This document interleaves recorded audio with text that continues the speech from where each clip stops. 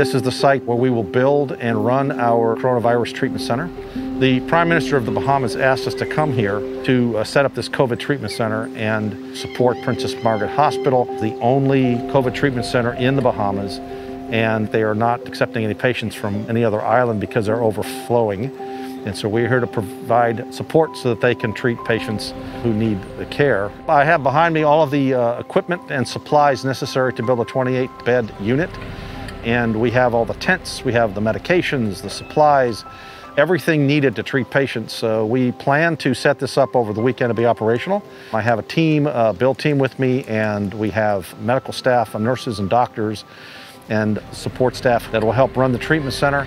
And we are more than happy to do that and honored to be here and to provide uh, loving care in Jesus' name.